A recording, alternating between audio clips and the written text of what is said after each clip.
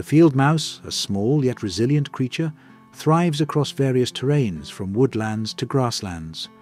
Agile and diminutive, it weighs merely 20 to 40 grams and measures up to 10 centimeters in length.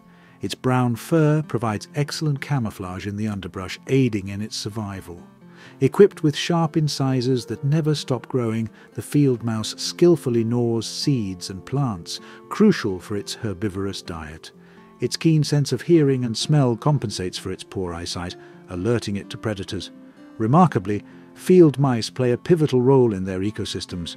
They disperse seeds and spores, aiding in plant propagation. Additionally, their burrows aerate the soil, enhancing its fertility. Despite their size, field mice are vital to the balance of nature.